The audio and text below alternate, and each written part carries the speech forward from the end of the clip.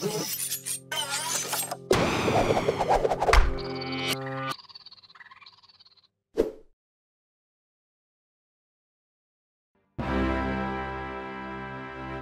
duties of the three branches of government. The three branches of the U.S. government work together to run the country.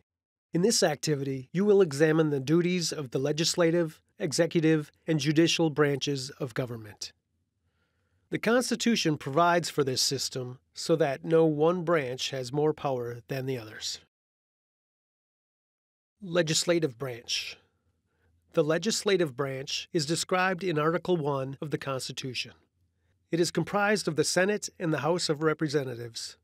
It makes the laws, votes on whether a bill should become a law, approves the appointments of federal judges, passes the national budget, and has the power to declare war. The Executive Branch. The executive branch is described in Article 2 of the Constitution. It is comprised of the President and his cabinet. The President appoints federal judges and other government officials, gives the State of the Union speech, sends bills to Congress. The President also commands the armed forces and meets with leaders of other nations. The executive branch also carries out and enforces the laws. The judicial branch. The judicial branch is described in Article 3 of the Constitution and is comprised of all of the courts of the land.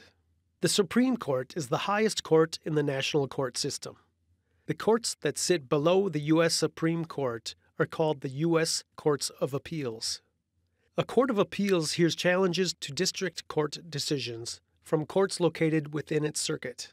The nation's 94 district or trial courts are called U.S. District Courts. The judicial branch also interprets the laws and punishes lawbreakers. You have completed this learning activity.